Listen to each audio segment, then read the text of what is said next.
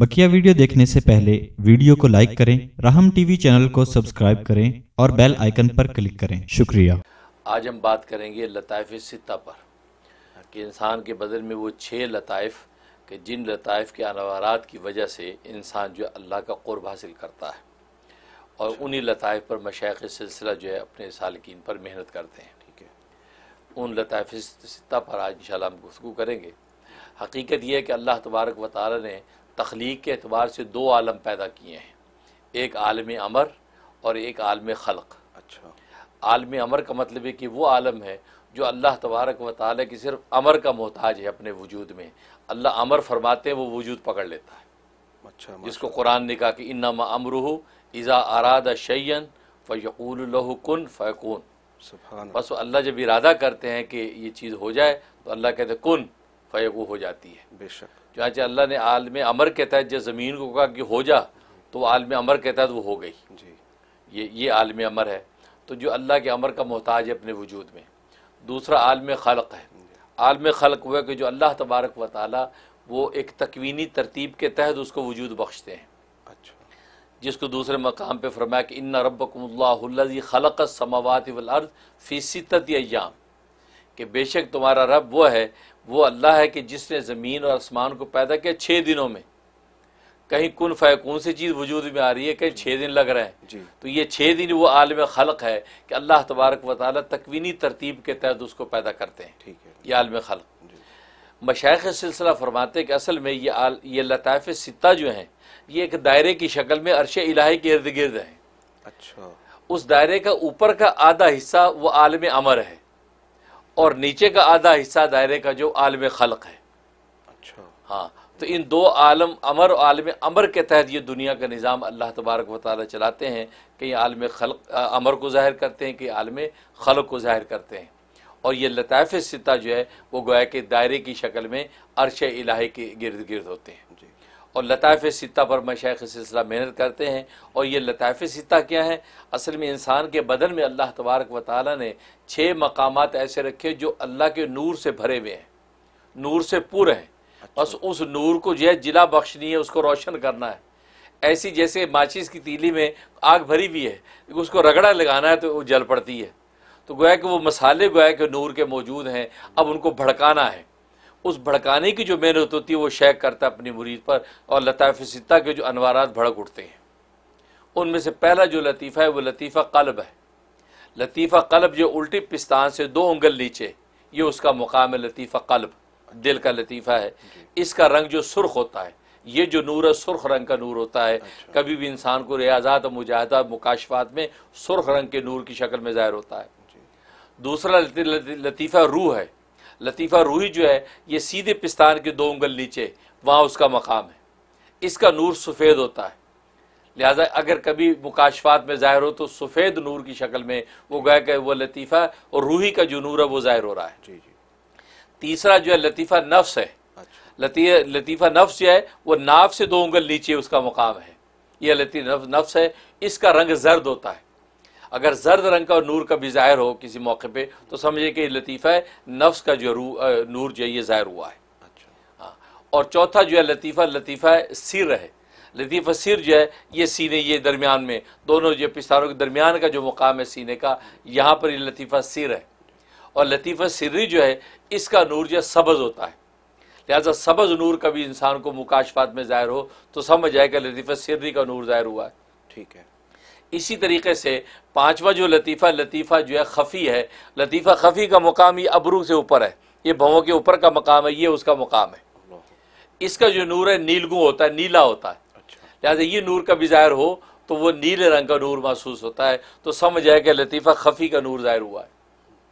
اور پانچواں جو ہے وہ چھٹا جو ہے وہ لطیفہ اقفا ہے۔ اقفا جو ہے وہ اقفا ام دماغ۔ امو دماغ یہ اس کا مقام ہوتا ہے۔ اس کا نور سیاہ ہوتا ہے۔ اچھا۔ سیاہ نور ہوتا ہے۔ جیسے بیت جی۔ اللہ کا جو غلاف سیاہ ہے جی۔ اس سیاہی کے اندر جو کشش ہے جو انوار ہیں جی۔ اس کی کوئی نظیر نہیں ہے۔ بالکل اسی طریقے یہ جو نور ہے ہے سیاہ لیکن ایسا نور ہے کہ یہ اگر کبھی منکشف ہو سیاہی میں تو بڑے بڑے نور اس کے سامنے ماند پڑ جائیں۔ اچھا۔ ایسا یہ نور ہوتا ہے۔ تو یہ نور جو ہے یہ نور جو ہے وہ نور گویا کہ لطیفہ اخفا کا نور ہے۔ اچھا۔ تو یہ لطائف ستہ ہیں۔ گویا کہ یہ چھ لطائف، یہ مقامات ہیں۔ ان مقامات پر مرشد اپنے سالک سے محنت کرواتا ہے۔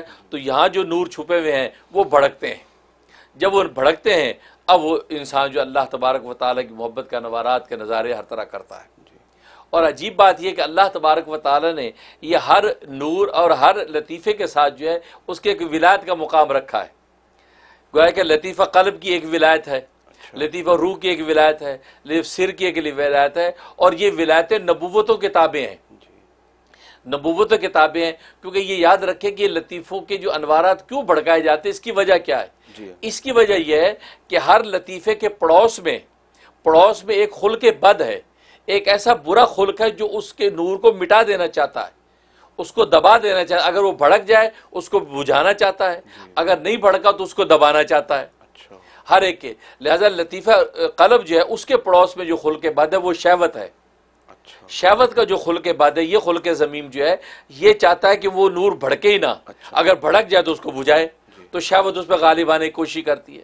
اب وہ شیخ اور مرشد جو ہوتا ہے وہ شہوت کو توڑ کے اس کے جو اس کے اثر کو ختم کرتا ہے اور اس کو بھڑکاتا ہے۔ بالکل ایسی ہے جیسے آپ جب چولہے میں آگ جلاتے ہیں تو آگ کو ہوا سے بچاتے ہیں۔ تو اب ہوا سے بچا کے اب آگ جلاتے تو بھڑکتی ہے۔ بالکل۔ اسی طریقے سے پیرو مرشد جب وہ ایسے مجاہدات ضربے لگواتا ہے کہ وہ خلق بد کا اثر اس پر غالب نہ ہو اور وہ چیز بھڑک اٹھے۔ تو لطیفہ قلب کے جو پڑوس پہ جو نور ہے وہ جو پڑوس پہ جو خلق بد ہے وہ شہوت ہے جو اس کو بجھاتا ہے۔ اور لطیفہ روحی جو ہے لطیفہ روحی کے پڑوس کے اندر جو ہے وہ جو خلق ہے وہ غیظ و غضب ہے غصہ۔ غیظ و غضب۔ تو یہ غصہ جو یہ ایسے کا خلق بد ہے جو لطیفہ روحی کو مٹانا چاہتا ہے دبانا چاہتا ہے۔ تو لہذا پیرو مرشد جب محنت کرواتا ہے اس کا مقصد یہ ہے کہ اس کو دبا کے وہ اس کے نور کو بھڑکا دے۔ ٹھیک اور تیسرا لطیفہ نفس جو ہے لطیفہ نفس کے پڑوس کے اندر جو ہے جنسی شہوت انسان کی جو ہے اس کے پڑوس میں ہے۔ وہ جنسی شہوت جو اس کے اوپر غالب آنا چاہتی ہے لیکن وہ ایسے مجاہدات کرواتے ہیں کہ وہ اس سے وہ اس کو توڑ کے اور اس کو جو ہے وہ ایک عفت اور پاکدامنی کی طرف لے کے جاتا ہے۔ چوتھا جو ہے لطیفہ جو ہے سر، لطیفہ سری جو ہے اس کے پڑوس کے اندر جو ہے وہ ہرس ہے، ہرس۔ انسان حریص ہو جاتا ہے، لالچ۔ تو ہرس و لالچ اس کے انوارت کو دبانا چاہتی ہے یا اس کو بھڑکنے نہیں دینا چاہتی، تو پیر و مرشد پھر اس کے زور کو توڑ کے اس کے نور کو بھڑکاتا ہے۔ اسی طریقے سے لطیفہ جو ہے سری ہے خفی ہے۔ لطیفہ خفی جو ہے اس کے پڑوس کے اندر جو ہے وہ حسد اور بخل ہے۔ حسد بھی اور بخل بھی دونوں یہ اس کے پڑوس میں خلق بد ہیں۔ یہ خلق بد ان کو دبانا چاہتے ہیں بھڑکنے نہیں دینا چاہتے۔ تو پیر و مرشد ان کی کلا کما کر کے اس کے نور کو بھڑکاتے ہیں۔ ٹھیک ہے۔ اور اسی طرح لطیفہ اخفا جو ہے لطیفہ اخفا کے پڑوس میں تکبر اور غرور ہے۔ کبر کبر اور تکبر اس کے پڑوس میں ہوتا ہے۔ تو کبر اور تکبر کو توڑ کے پیر و مرشد جو ہے وہ اس کے انوارات کو روشن کرتا ہے۔ تو یہ دیکھو، ہر ایک کی انوارات کو روشن کرنا اس لیے ضروری ہے، ان کے پڑوس میں ایک خلق بد ہے جو اپنا اثر اس پہ ڈالتا ہے۔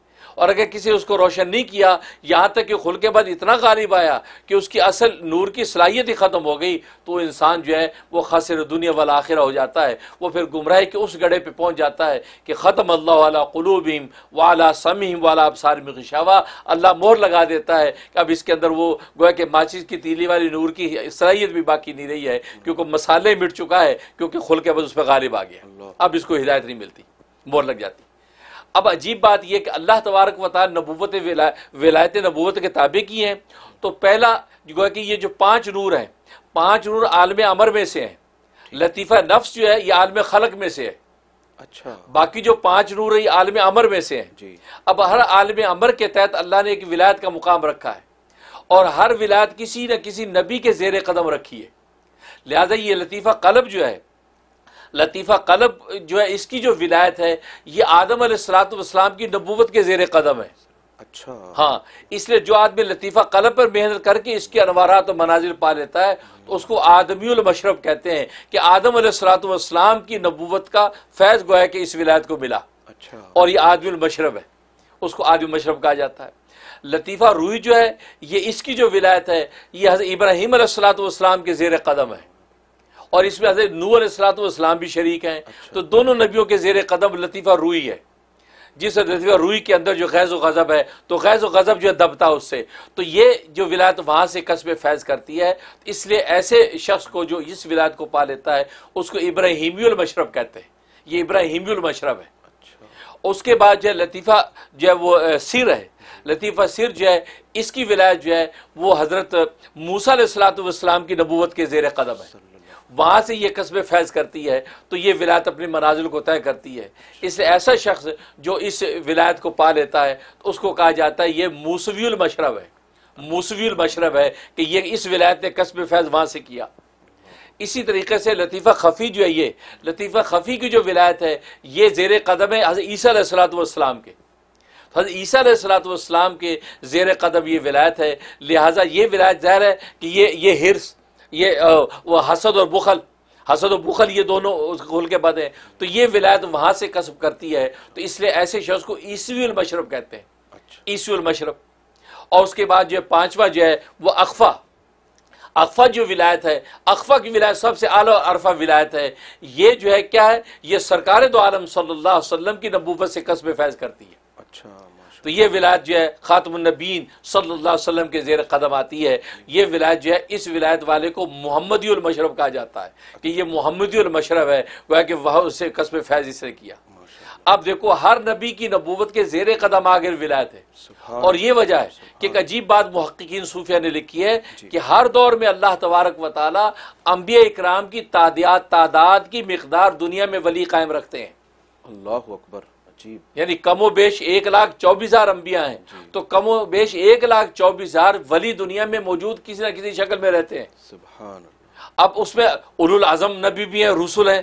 اولو العظم انبیاء جو ان کی ان کی تعداد تین سو تیرہ ایک روایت کے مطابق ایک میں ایک سو دس ہے۔ تو جو ٹاپ کے ولی ہیں وہ ایک سو دس یا ایک سو تین سو تیرہ بھی رہتے ہیں۔ اچھا اچھا۔ تو گویا کہ اس طریقے سے اللہ تبارک و تعالی نے یہ نظام قدرت چلا رکھا ہے روحانیت کا کہ اس طرح قصب فیض کر کے ان انوارات کو لے کے چلتا ہے تو خدا کو پا لیتا ہے۔ ماشاء اللہ ماشاء اللہ حضرت یہ تو بڑی پراسرار باتیں ہیں اور مزہ آ گیا سن کے۔ اور اس پروگرام کو دوبارہ دیکھیں گے تاکہ اس کو مزید سمجھ سکیں اور گریسپ کر سکیں